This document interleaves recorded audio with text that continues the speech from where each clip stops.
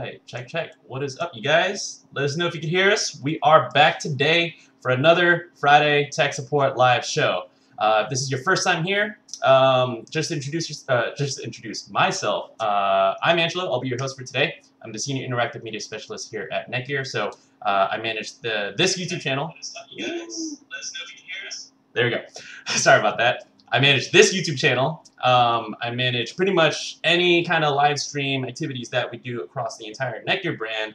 Um, and I'm also be, uh, if you haven't checked it out, we have Meural, which is a product line that I'm essentially um, uh, brand managing. So uh, pretty much in any case, uh, happy to see everybody here again. Shout out to our regulars. Um, we're going to go ahead and kind of dive into the chat in just a quick second. But uh, Darren, you are next. I'm Darren. I'm a technical support specialist and community moderator at Netgear.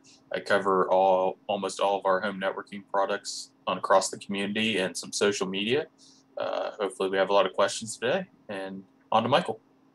Hey everyone, I'm Michael, uh, technical marketing manager. Um, I do a lot of beta testing for um, all of our products that um, come out, and um, when there's trade shows, do a lot of face-to-face um, training and um, explaining our products to people, and I'm looking forward to answering any questions you got. All right, awesome. And then remember, guys, this is a show that we do every week uh, from 12 o'clock Pacific time to 1 p.m. Pacific time. And we'll be going from the top of the chat all the way to the uh, to the bottom, all the way until up to the end of the hour. So any questions you guys have, we'll be happy to help you guys out through the next hour. And anything we can't get to at the end, um, we have our tech, uh, tech support live show uh, for, for next Friday as well. Um, but I'll go ahead and kind of kind of start from the top here. So uh, unfortunately today we are missing Ben. He is our Nighthawk Pro gamer, um, essentially uh, the brand manager for Nighthawk Pro Gaming. So um, he'll he, hopefully he should be back for, for, for next week. But um, again, we'll be able to uh, help out any kind of MPG related questions as best we can here on the show. Uh, Ryan Fries, welcome back. Uh, you I love to see your name popping into every single video that I upload. So we really appreciate the support and you coming back here every single week. We love to see it. What's up, Kev? What's up, Hamad? Uh, Ricky B, what is going on? Uh, Dan Tuma. Dan Tuma says one year plus now, and Corona isn't done yet.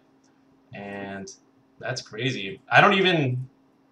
Yeah, we are pretty much like past that one year anniversary um, to the show. So again, thank you guys for coming back for literally over a year, literally pretty much every single week. Like that's something that time and time again, you know, I love to tell, I love to talk up to you guys, to like everybody who knows that we're running the show on how much you guys keep on supporting the show, giving us those likes, subscribing to us, um, engaging in the chat every single week. Uh, not joining just Tech Support Live, but also our other live events that uh, we've done in the past. So again, we really appreciate the support, and it's really crazy that it has been over one year. So that's hard to believe we've actually been doing this for an entire year. Yeah. Hey, and again, imagine one year ago. Uh, my God, like nine day difference in terms of the uh, how this show was kind of created. Just a little bit of the background. It came because of you guys. It came because um, we knew that there was a need to answer essentially tech support related questions just from the influx of people who were starting to upgrade their networks, starting to buy uh, new products, kind of working from home for the first time or doing remote learning for the first time. And then um, it really kind of just blew up and kind of became its own thing. And here we are one year later. So again, I really appreciate that. Um, Husky Gamer, what is up? Um, I don't know if I remember your name. Hopefully, maybe uh, Alec was hosting the show with uh, you in here, but welcome and hope you enjoy it. Awesome. And Kieran as well. Cool, cool. So, I do see Ricky B. I want to make sure that um, uh, you're essentially... I know we've been kind of running into this ongoing kind of uh, conversation with the R6700. I know I think we might have kind of touched, I guess, like uh, like last week, I, I think Alec might have helped you out a little bit as well, but uh, I want to make sure that you're all set. You know, we don't want anybody here to run into essentially any kind of difficult issues, and that's kind of why we opened up this forum. Um, so unfortunately, if the, the product that we sent to you unfortunately didn't work out, uh, I want to see what we could do here with the team that we do have. We have Christine, um, who is uh, our gal in the sky. Hopefully, we'll have her on the show one day.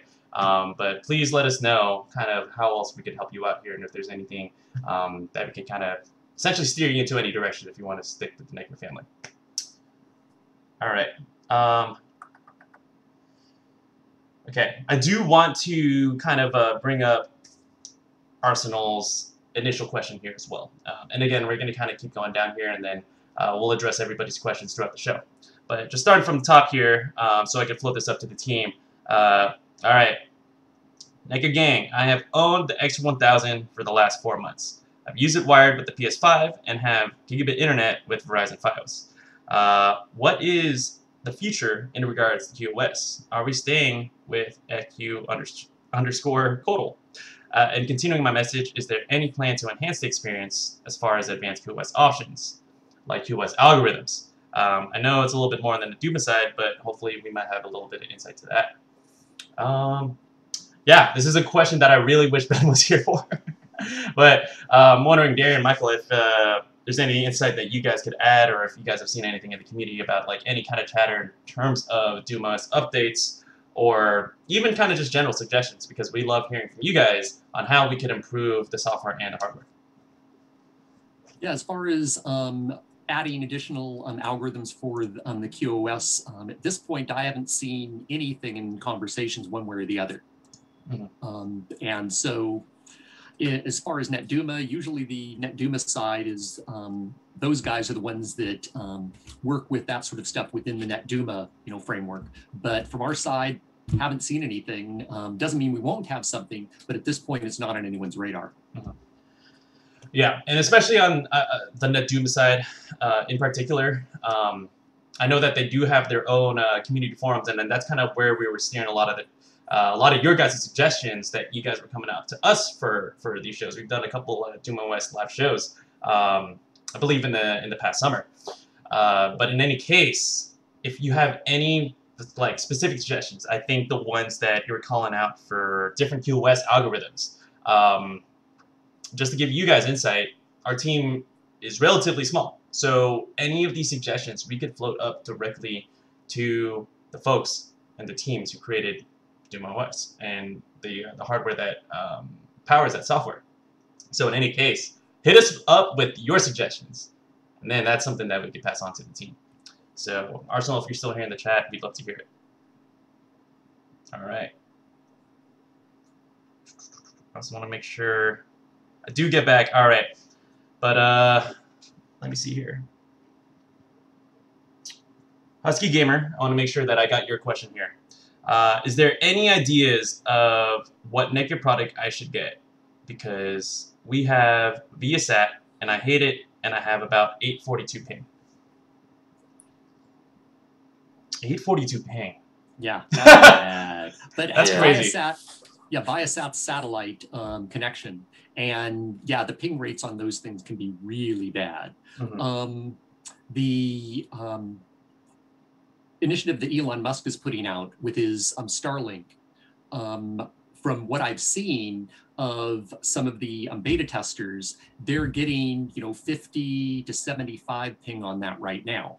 Um, so um, if that's available in your area or becomes available in your area, that's probably your best solution if you don't have access to um, any standard uh, cable companies or internet providers.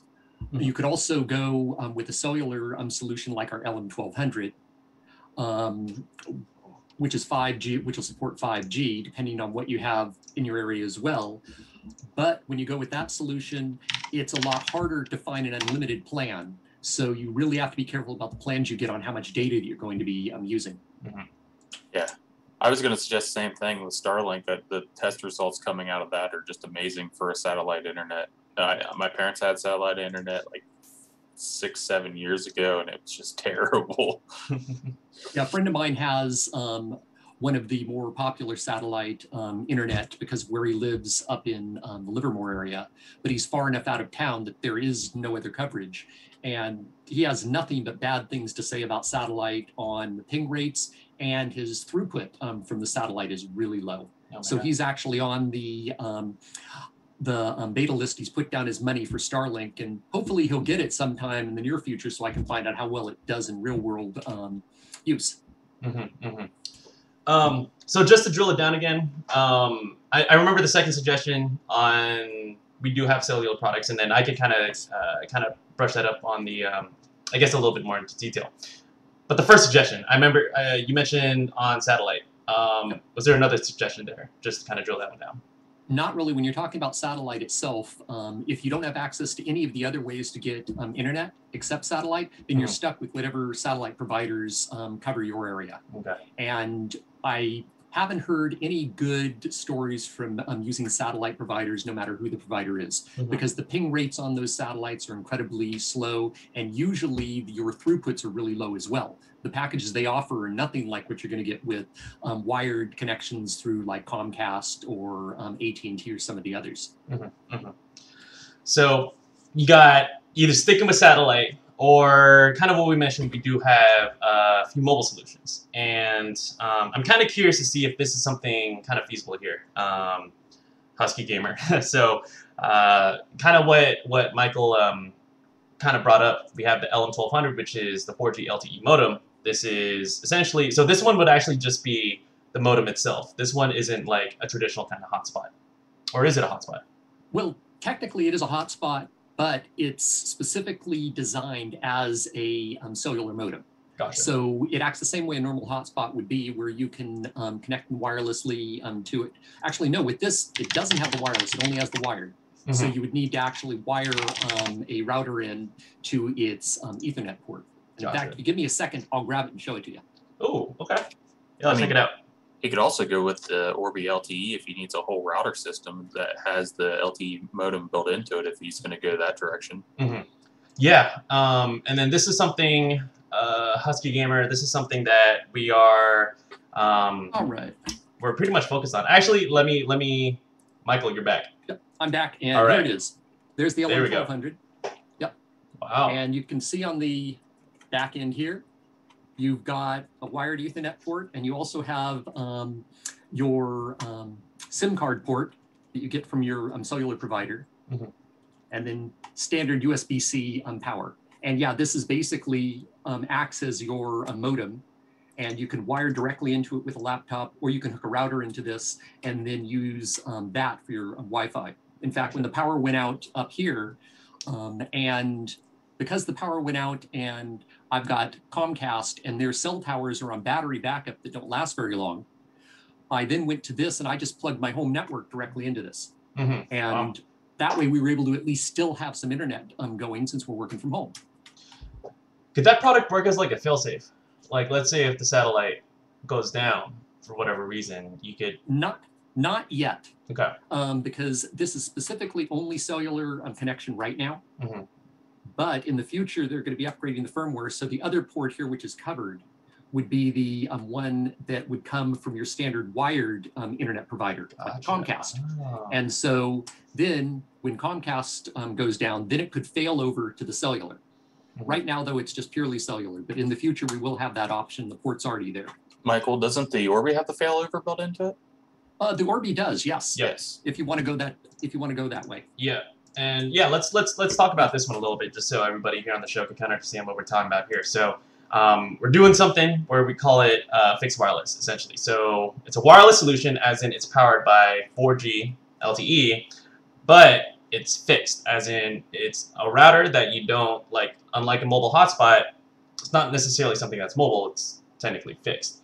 But this essentially kind of gives you best of both worlds when it comes to um, especially folks that live somewhere rural or maybe someone that doesn't have a, a pretty, um, I guess, reliable internet connection.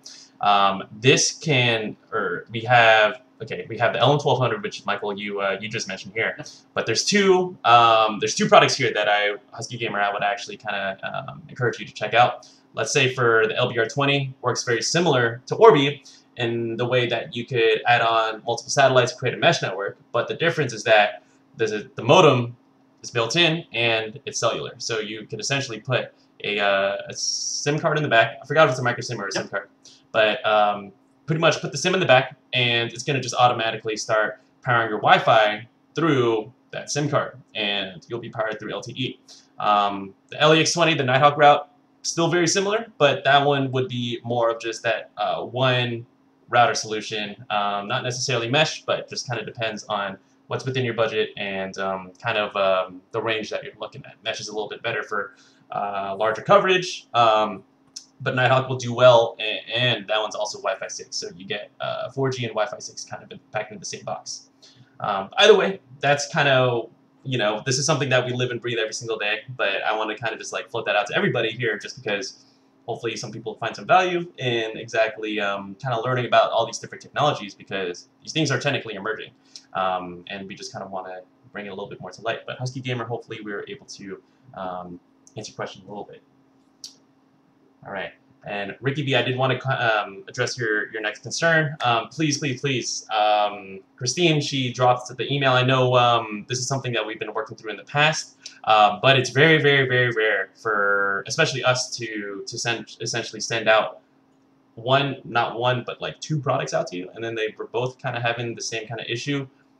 We want to make sure that just doesn't go dark and just doesn't end like that. So again, you you have us as a resource. Um, you're able to reach out to Christine, and hopefully we could um, have at least a couple updates from you next time on the next show. But hopefully we're able to um, give you a little bit more help. All right. And then Arsenal, you are still in the chat, and I see that you uh, put a little bit of a follow-up. So uh, same, yeah, same kind of same kind of question for for uh, Advanced QoS. Um, there's a follow-up here. Wanted to ask a question regarding the apply to WAN option in QoS. NetDuma has said that it provides QoS informational tags to your ISP on those packets. How can I check to see if Verizon accepts that? Oh, that's an interesting question. Is there a way, you know, through the actual provider itself to see um, these packets coming through the router? I don't even know if they want to play play nice. like, do you think they would do that?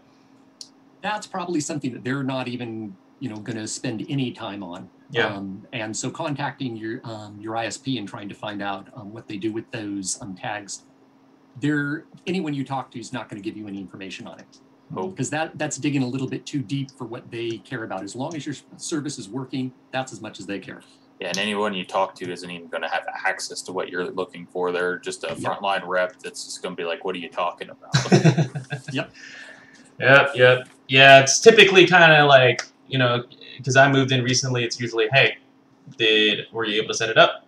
Oh, we weren't able to set it up. All right, we'll send a person over. So you could try it out. I mean, let us know kind of what they kind of kind of say, but yeah, to to our knowledge, usually the folks on the front line are the ones that are kind of just able to kind of get up the service running. Uh, but hey, I don't think it's ever not worth a shot. So I you might be able to get something, but probably not. That's kind of where we're ending that up at.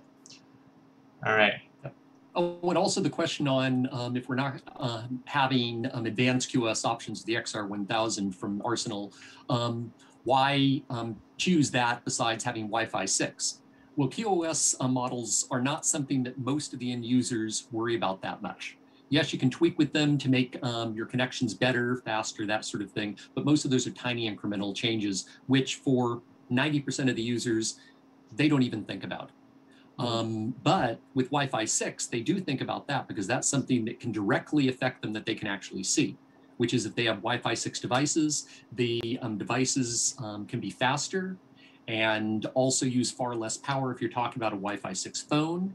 Um, when it's connected up to the um, router, so your battery life lasts longer. So there's a lot of pluses for um, the Wi-Fi 6, even if we're not changing the QoS. And it doesn't mean that we won't in the future, but QoS uh, models is not something that most users really are going to dig into and care that much about. As long as their routers, you know, giving them fast speeds, they're happy. Mm-hmm. And yeah, to kind of like tell the story of kind of how the XR1000 and kind of just like how Nighthawk Pro Gaming versus kind of let's say, um, let's say if you really want advanced quality service functionality, um, I think our work from home SMB solutions are kind of something to consider within Netgear Insight, right? So fundamentally, here's kind of the story and kind of how we differentiate the two um, Nighthawk Pro Gaming was pretty much created to pretty much compartmentalize all those features that gamers wanted.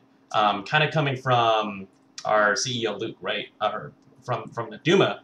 Um, the story goes is that they had slow internet in the dorm room. They're trying to play Halo or Counter Strike, and essentially trying to kind of fiddle and tinker, especially with like dorm room internet in college.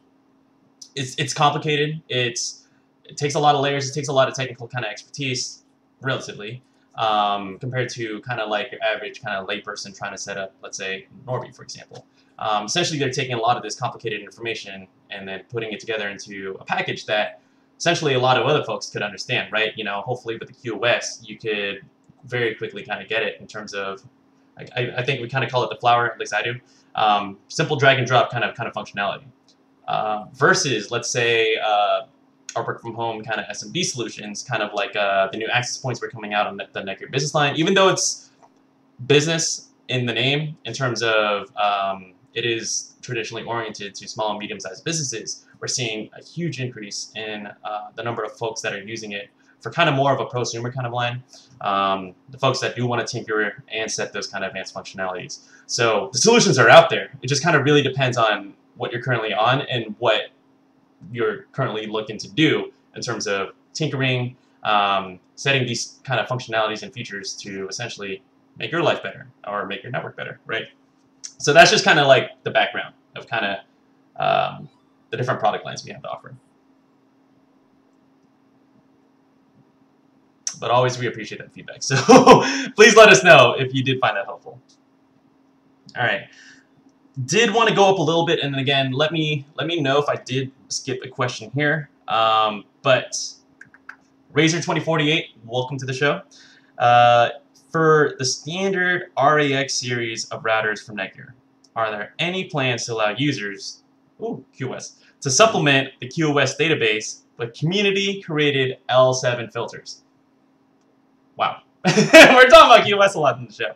Um, the answer to the answer to that is most likely not. Mm-hmm. Um, when it comes to um, our routers with their stock firmware um, and the stock packages that go into that, that's pretty much you know um, locked. They don't allow um, third-party filters or um, additional packages to be added.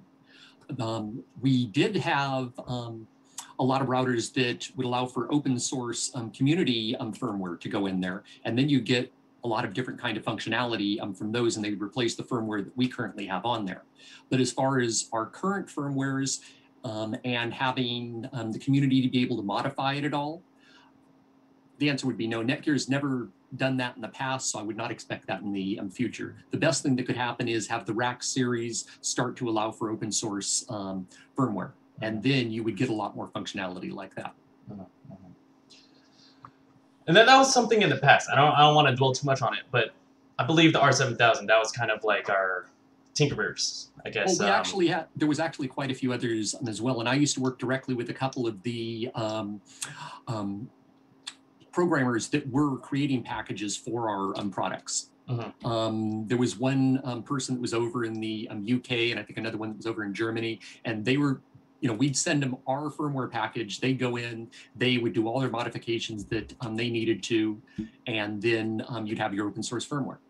We, I haven't been part of that program in a while, and I haven't seen anything go by my desk in a long time to see whether or not we're still doing that. Mhm. I know on the RAX um, series, definitely we haven't done it. Mhm. Um, but yeah, we did it on the R8. There was um, ones for the R8000, R7000. I think the R6250 there was um, open source firmware on. So we were doing that for a while. I think we've moved away from it. It would be nice if we could do it again in the future because the open source um, firmware definitely gave a lot of additional functionality. Um, it would lose a couple of features because we have some proprietary tweaks that we do to our firmware that can't go out in the package that we send to be tweaked. Mhm. All we can send out is what is already um, part of the open source. And then they can make their changes um, to that. But it would be nice to allow a little bit more flexibility for users. Yeah, yeah, exactly, and everybody here who is watching the show, if you guys do find that kind of helpful, you know, again, you know, these are these are suggestions that we'll be able to kind of raise with the team. Even though if we don't have it on the roadmap roadmap now, this is still something that we could be floating up. And again, I think this is also um, good opportunity. We have our uh, idea exchange, and ooh, let me let me let me kind of float this up here. But in any case, um, being able to provide uh, these forums. Let me let me let me kind of load this up. Oh, I'm at completed ideas. All right.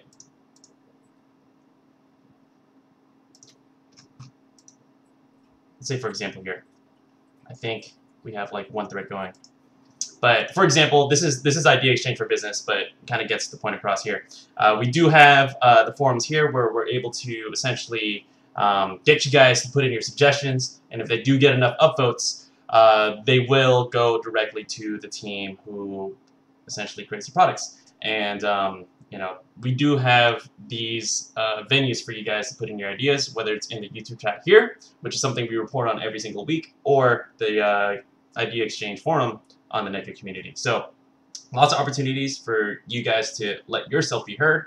Um, and you know, it's kind of um, I want to make sure that everyone's aware of kind of where you can put these ideas because you never know will they uh, where they'll end up, and you might see them integrated in the near future.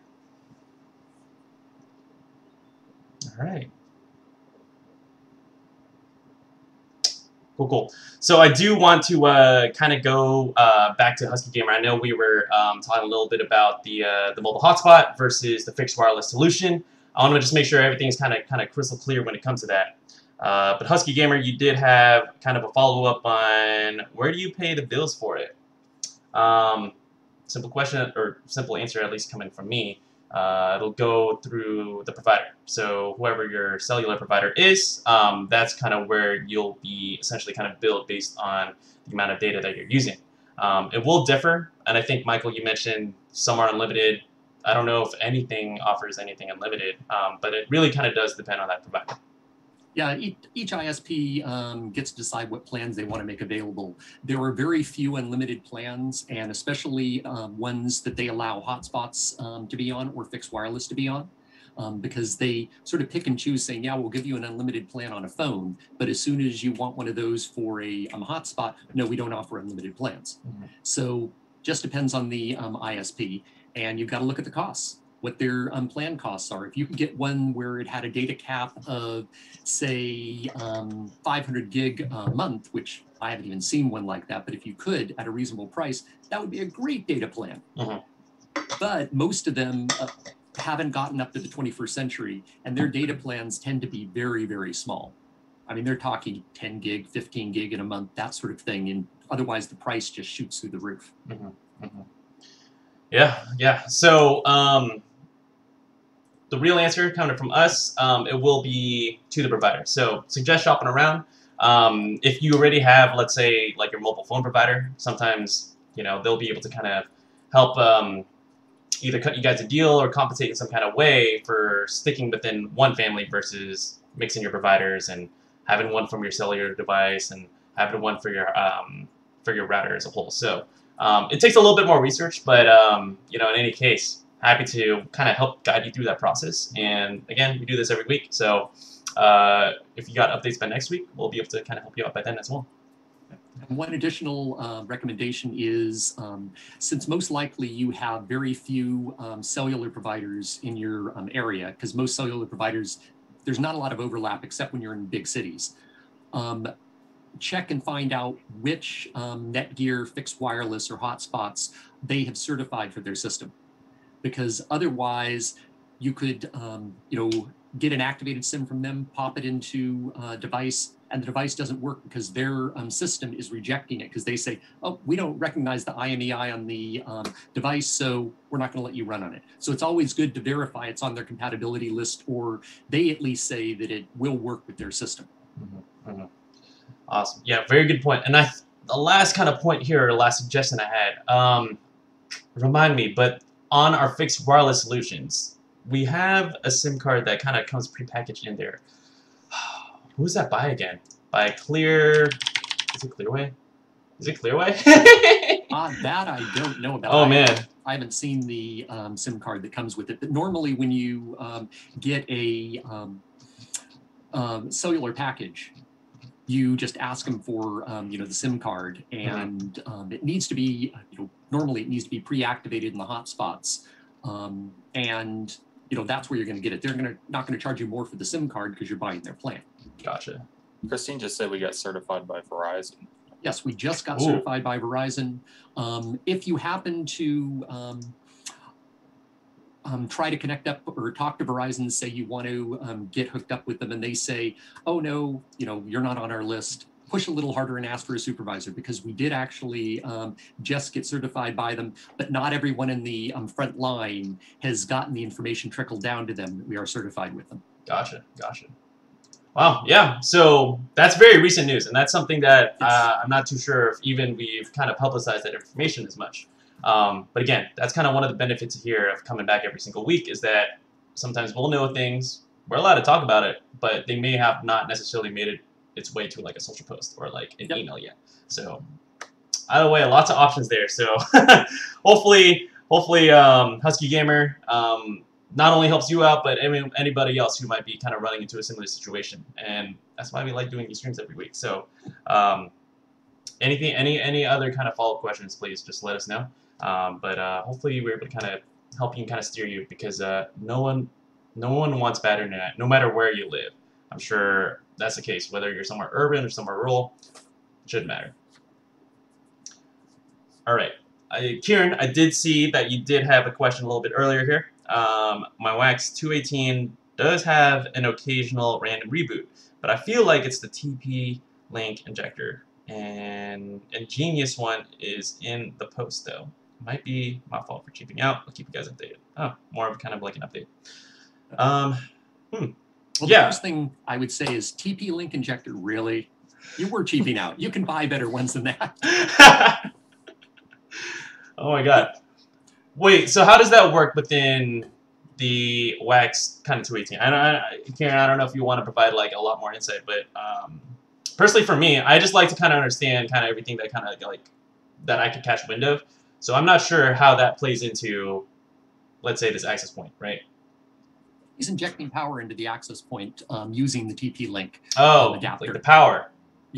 And, oh my god, never mind. Yeah. I know that. And as far as the random reboots, um, depending on how often the reboots actually happen, um, if they happen like once a week or so and it automatically rebo- reboots, brings itself back up, you may not um, think it's worth your time to dig in deeper and try to figure out what's causing it because it's limited and it's self correcting. Mhm. If it's happening more often than that, then you probably want to dig in a little bit more. Possibly replace the TP Link injector with something else um, that might be a little bit more robust. It might not be giving enough power at certain times. Um, but it, it depends on how often it happens. I mean, honestly, if it doesn't happen that often and it fixes itself, it's easy just to forget about it. Hmm So there's are there certain like advantages to using? Because when I think of the injectors, that that's just the power cord, right? It basically, yeah, it's basically pushing power into it. So is there a benefit if you get one outside of what is proprietary originally provided? Um, yeah, you can actually get more power injected um, into it. Hmm Um, and in fact, um, we were playing with something um, like that to be able to turn our um, Meurals into PoE devices. Oh, Yes. And we were actually having to get power injectors that would plug into it that um, would replace the actual power cord. hmm And um, it could be um, run just through um, the Ethernet cable, like other PoE devices. But the Meural uses huge amounts of power compared to most PoE devices. oh yeah, So it was really hard to find anything that could inject enough power into it. wow. So you need like a crazy like power budget in order to actually kind of consistently keep that on and running. Um, because I could imagine theoretically if we were able to make this work, like especially a lot of like corporate kind of situations where Yep. Ethernet is wired everywhere. Imagine you could have like the craziest like corporate lobby of all time if we could get all these Meurals hooked up through Ethernet, right? And you know, um, power over Ethernet just is much easier to run. You don't have to worry about having a power socket close by that you're plugged into. You can have long runs on your Ethernet cables. They're very flexible, so they can go around things. Um, similar to our Pro AV, that's what we do for our Pro AV walls. Mhm. Is we're actually, um, you know, running everything, all of that through um, Ethernet cables, all our video. But in this case, you're pushing power through as well. Wow. So you would think the video, the displays, and then the Meural displays, we're gonna get there. We're gonna get Hopefully there. Hopefully so. right? To do We'll cross that bridge. to our Meurals as a Pro AV wall. Awesome. Oh my god. All right. Well, uh, keep us tuned in. You know, I think that's something that's pretty exciting. That honestly, again, I didn't know about, and I didn't know that um, that was even an idea out there. So, um, I'm just okay. I only bring that up because I'm scarred from like mixing up power supplies. Because one time I had this like record player. It wasn't even a good record player, but I had a good. I had a record player that we had the power cable. I thought I had the power cable. Looked at the voltage. Used one from another. Okay, it was a vacuum. But either way, used it, plugged in. The record player literally blew up, as in like it smoked out. Like it, it worked for a bit, started crackling, and then like the speakers blew out, and then like smoke started coming out. And I'm like, I'm never gonna mess with any anything like that ever again. There's there's just two things you always want to um, double check on: is match the voltage and the amperage of your um, previous power supply to the new one. If you can Mhm. match those two things, then you're going to be um, okay. But you can overdrive something by plugging in um, an adapter that's pushing too much power, like what happened to you, and then yeah, things are going to just start going boom. See, that's why. pu- or if you're not pushing enough, but you're pushing just enough to get the thing to run, but not enough to run optimally, then you'll get it start doing weird things. Like your record player Oh, might really? start to spin and then stop, and start to spin and stop. Ah. So, yeah, you want to match up the um, power and voltage um, when you're doing that. And of course, with most devices now, you have to match up the um, adapter plug that's going in as well, because the actual size of the adapter um, and diameter, as well as the um, size of the hole in in the side, Mhm.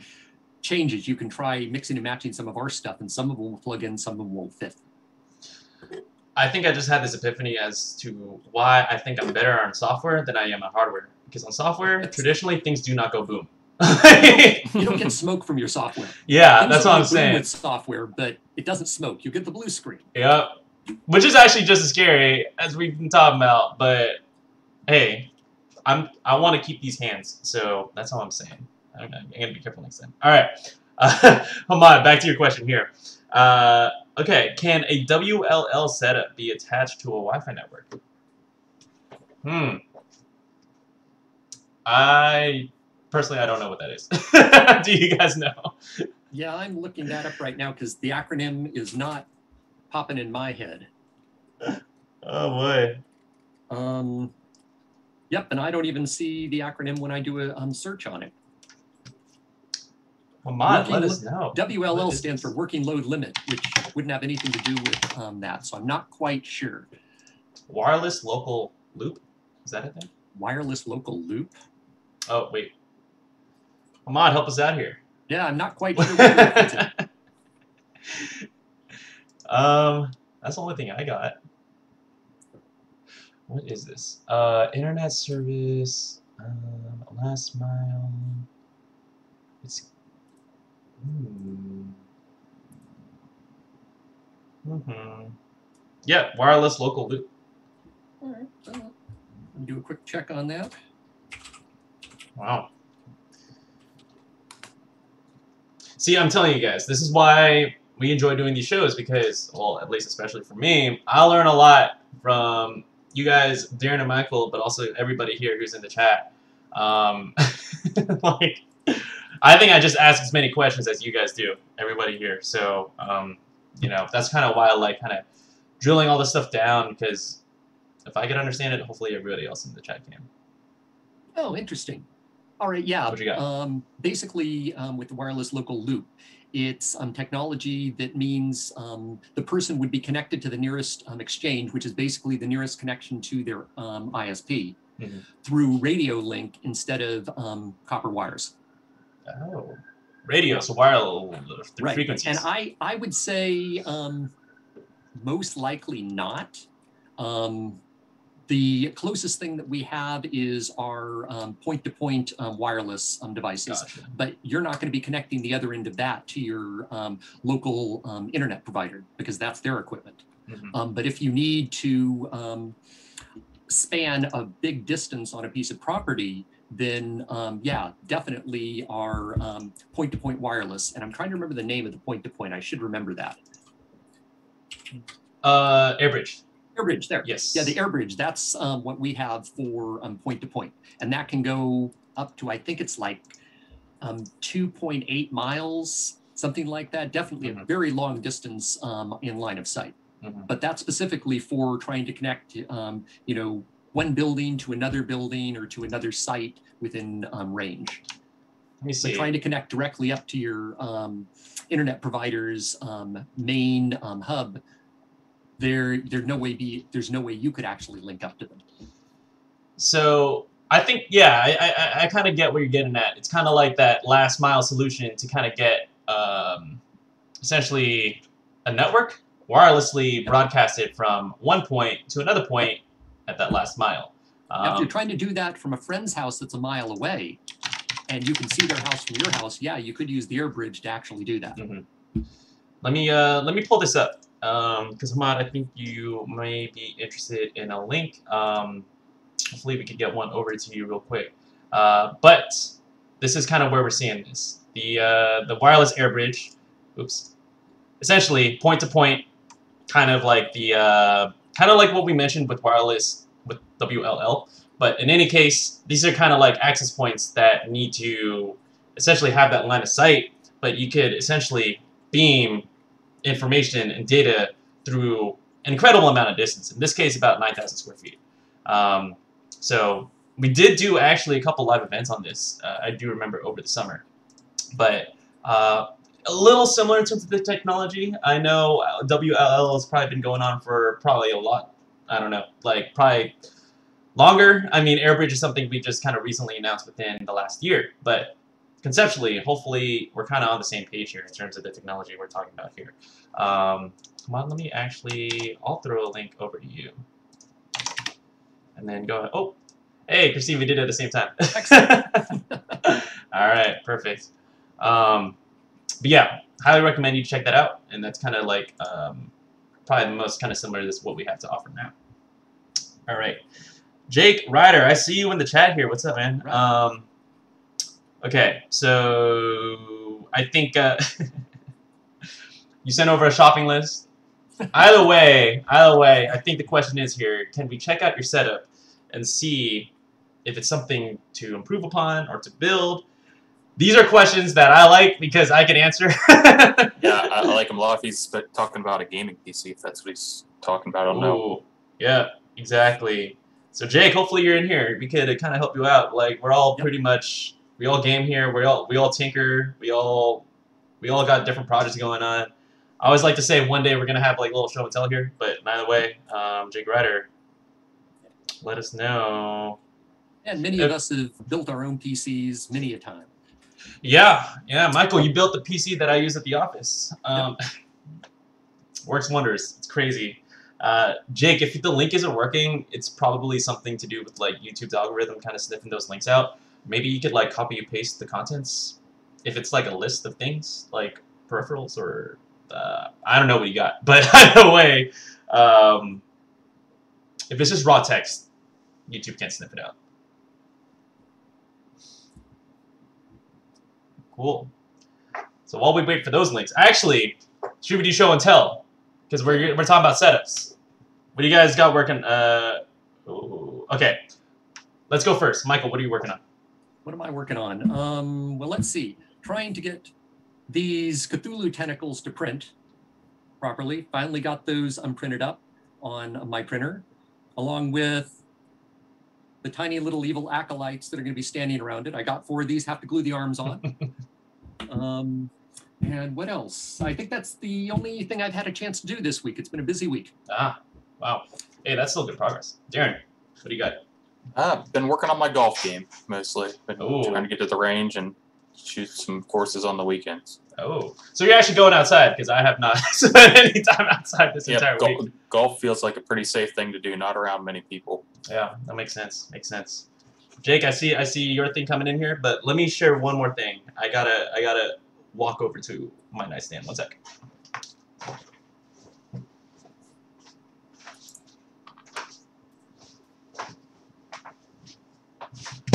Oh, okay. Ah, there we go with all of Jake's um, hardware that he's There got. we go. Yep. All right. Mine's not networking, but this is kind of what I mean. I picked up this little little device here. It's Android powered, and uh, we were talking about it a little bit before the show, but it's my childhood in a box. So I'm putting together. Um, it's Android powered. I'm getting ROMs. I'm putting them on here. Um, the ROMs are kind of like the back end, like all the little games I used to play when I was a kid.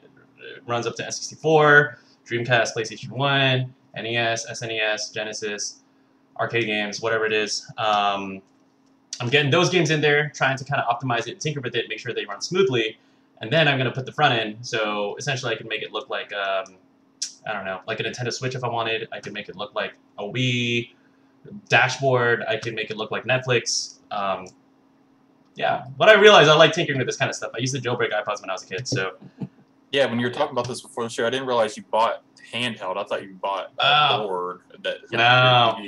So, but yeah, I- I've been looking at those handhelds forever. Yeah. And, and been just waiting till they get a little bit better to run Dreamcast and 64 era stuff too. Yeah. of all the old stuff.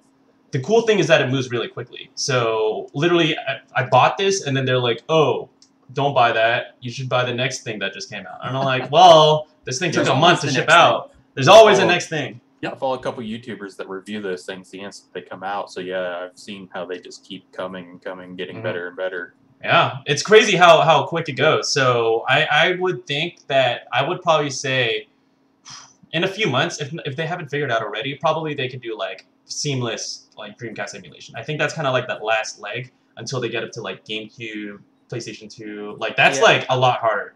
I don't really care about stuff past like I don't care about this stuff past Dreamcast really honestly to emulate. There's just so much PS2, PS3 stuff that's like eh. yeah, that's why I have my the PS2 stuff. That's on my that's that's on my desktop. Um, but for something that I could like slip in a bag real quick and then literally like it's like a dream of mine to literally play old N64 games I haven't played in like literally 20 years. Um, so it's cool. And I see Jake, you got a you got a couple Raspberry Pis, and yes, to the FBI guy. This is um, we're kidding. All right, all right. Anyway, Jake, let's talk about you. Uh, you got your setup.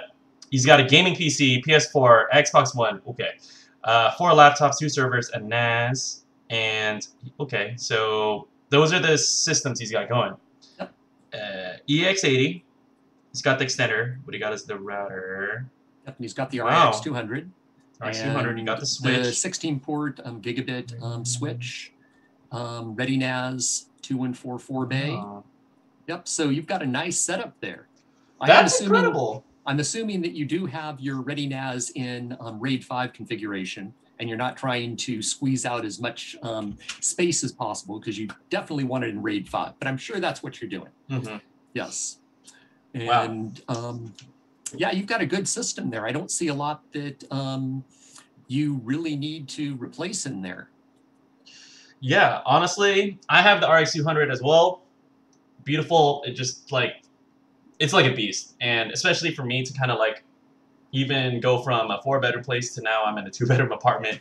Um, works exactly as like I need it to be. Um, unfortunately, like I'm more of a tinkerer when it comes to like my gaming systems. I'm less of a tinkerer because I don't really play as many multiplayer games. So, um, you know, I, I'm more of that set it and forget it kind of type. But that's why I do enjoy the RAX 200 is that it's so powerful. I never have like I never even have to worry about like even wiring things up. Even if I'm not getting like the full full speeds, I like having the convenience of being wireless. But yeah, like what Michael mentioned, I mean, Darren, unless you got anything, I think you got a pretty incredible setup. Uh, even you're all Wi-Fi six, EAX80. I mean, maybe look towards 16 when it comes out, but besides that, that's still early. You know. Yeah. And um, the only other thing you could do is if you wanted to replace your 16 port um, unmanaged switch with a, a managed switch, you can still get them that are um, fanless. And then you can actually monitor that from your um, PC um, just to make sure if anything happens to go wrong, it's an easy way to check things out instead of having to go over to the switch. Mhm. But that's just for fun.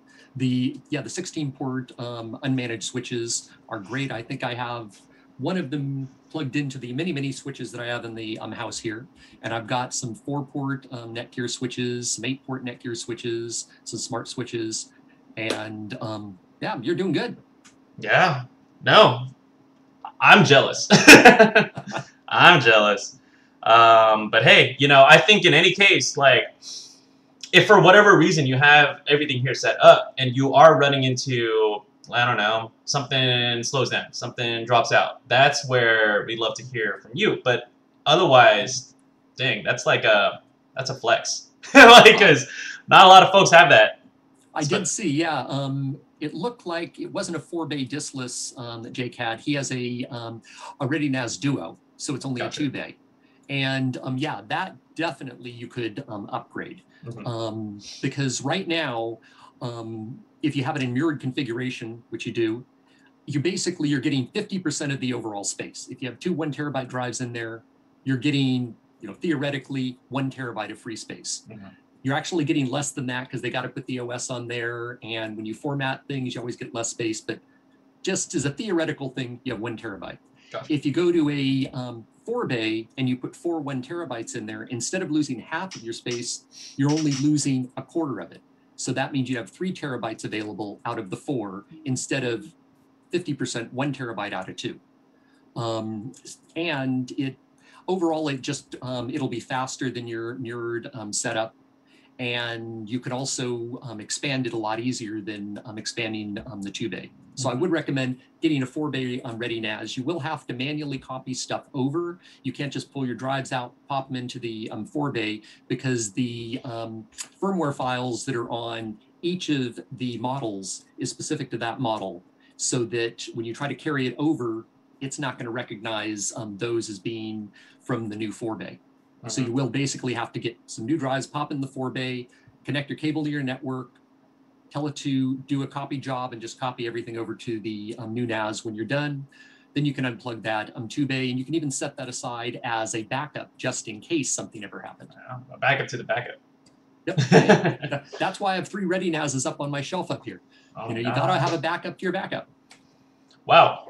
Wow, that's that's that's really good advice, man. That's crazy. Um, hey, so just to kind of drill it down, I I want to kind of clarify here. Just, does Jake, do you have the Duo or do you Yes, have the he has the Duo. 214? Because I, I saw two four the RN 214 Yeah. 4 bay a little bit above, or is that Yeah, what he's but he- looking to upgrade to? I think it's what he's looking to upgrade to. Yeah, Yeah, because he said, yeah, his current ReadyNAS is the ReadyNAS Duo. gotcha. Yep. Um, yeah. And also, the 4 bay has a lot more processing power than that Duo does. Yeah, not only as you mentioned that that Duo is from 2008, but the 4 bay, more memory, more processing power. Of Cool. course, it depends on what your pocketbook is. If it's unlimited, there's a nice little 8 bay that we have out there that just kicks butt and has uh, 10 gigs connection on it. Oh my god. Wow. So a lot of options for for the NAS storage, and um, that's something that I might. So Michael, I'm really looking forward to setting that up now. Now that we've been talking about it, um, and yeah, I think you could very easily expand the storage, expand the processing power, make your make your backups just as a whole more safe, get more capacity, and hopefully a little bit of a speed boost at the same time.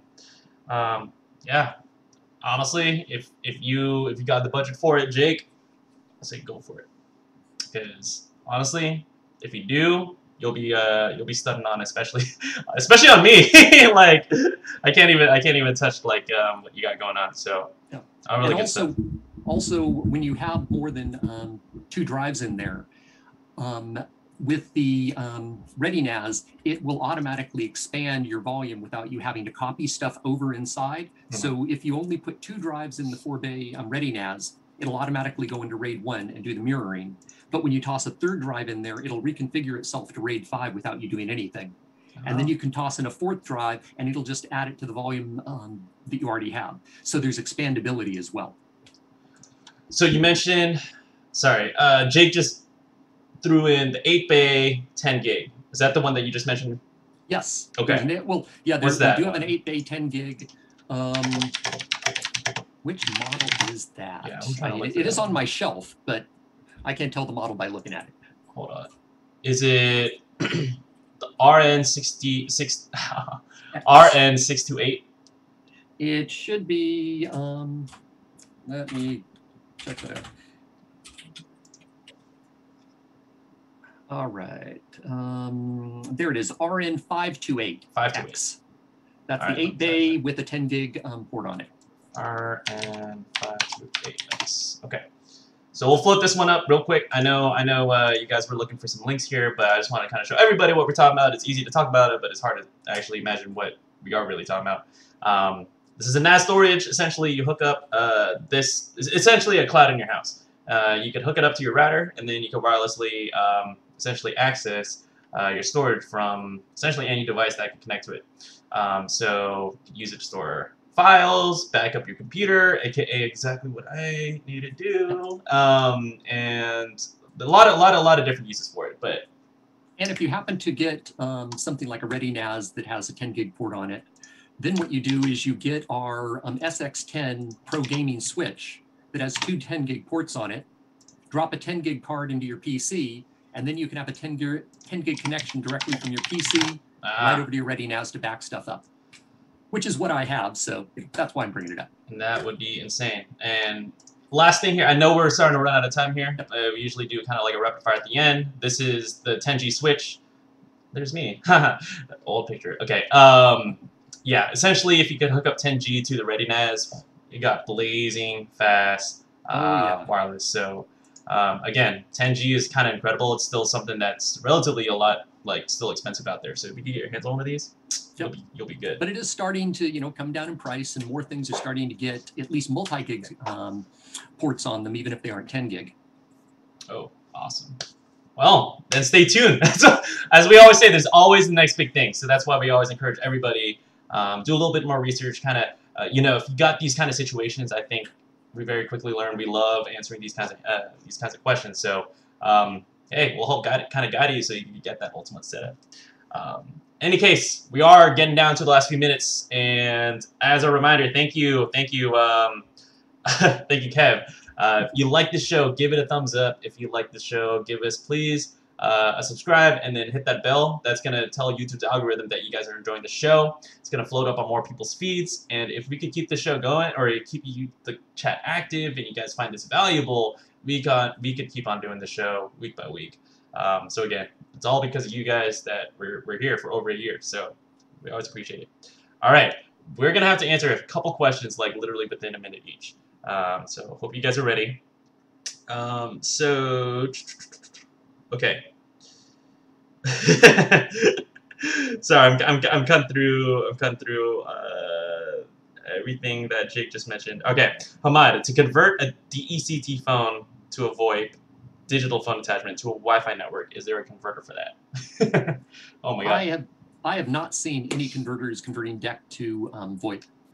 I don't even And I know did, a, I know qu- what I did a quick Google search and I couldn't um, find any third-party hardware that was doing it. You might be able to find some company um, that does make something like that, but I've never seen it. Wow.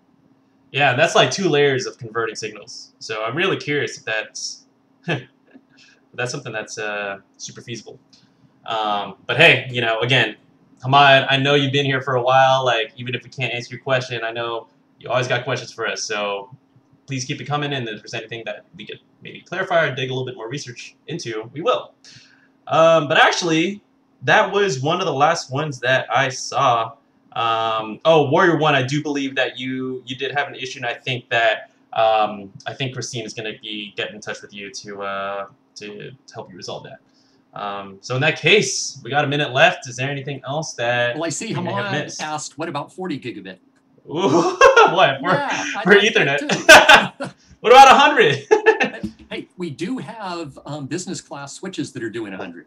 So, Jesus. you know, but then what end um, device do you have that's also doing 100 um, gigabit?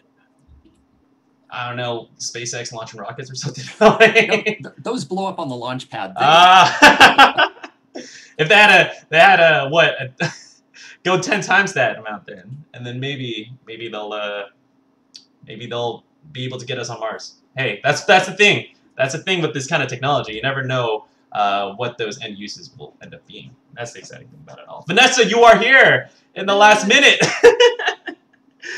oh man! All right. Pixel Switcher just asked which Nighthawk routers have the geo filtering. Yeah. Those would be the XR series that we have.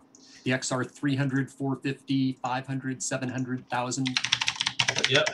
Let me let me put that up real quick here. So uh, go ahead and check this out, and I will also throw the link in here.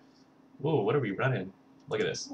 Uh, something about Rainbow Six. If you get an XR 500, you get wow, you get Rainbow Six for free. That's cool.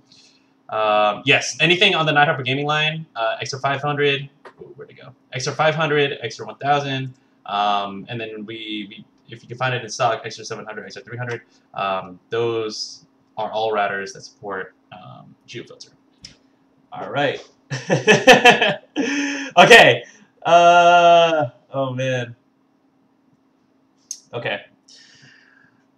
Vanessa says I'm late, but I got to say hello. And you know, hello. We really appreciate Vanessa. I know you're probably one of our biggest fans here, so I just wanted to shout you out. But in any case, uh, we are out of time here for questions. So if there's any question uh, for whatever reason we could not get to today, please join again for next week. Uh, we do these shows every Friday, 12 o'clock to 1 p.m. Pacific time.